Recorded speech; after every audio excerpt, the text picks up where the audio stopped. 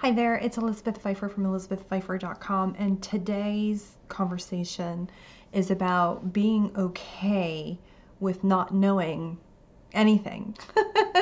so, so I read a quote on Facebook, and this woman was having this great aha moment, and you know, she realized you know she needed to let go of a lot of stuff and dropped it, and then you know came to this realization of what do I do next and my first immediate response to her was, nothing. Don't do anything. I mean, just really revel in the idea of, you know, you've created so much space for your soul and your essence to come through and really just celebrate that and be in that alignment at all times. You know, it's the mind that wants to know everything. We want to know the next steps. We want to know where to go, what to do, um, who to call, the whole nine yards. We want all planned out. And that's the mind wanting to control everything, right? So if your mind is trying to control everything, it doesn't leave any space or any opportunity for the soul to come in and to guide you, direct you, and point you in that direction because then you start doubting yourself. So you come in and you're trying to control everything, and then your soul comes in and says, Well, do this instead. And you're sitting there and your mind shifting it, you know, your mind screwing it is really more accurate because now your mind's coming in and go, well, if I do that, then, you know, I maybe I won't make as much money. Maybe she won't sign up. Maybe, you know, this will happen maybe this will happen that'll happen you know whatever. Um, your mind just comes in and tries to to derail it.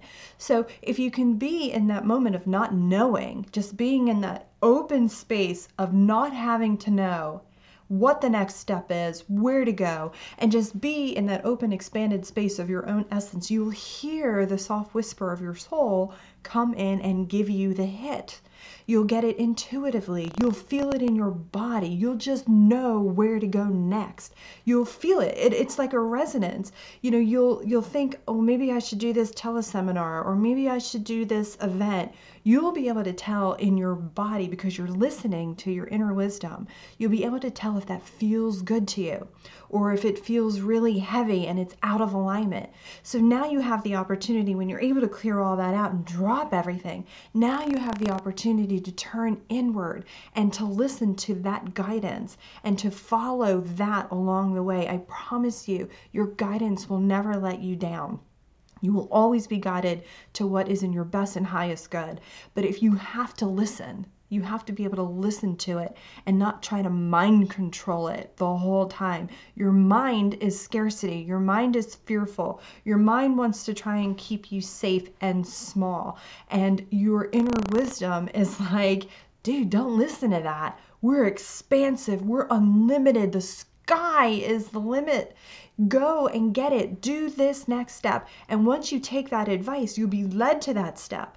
You'll take that step and then be in that moment of, okay, well what's next? And then that next step will show um, show itself and lead you in that right direction. And then by the end or even not even by the end but by the middle you'll be like oh my gosh i cannot believe all this positive stuff is happening and it's rolling like a snowball because you are listening to your inner wisdom and you're not letting your ego run your life.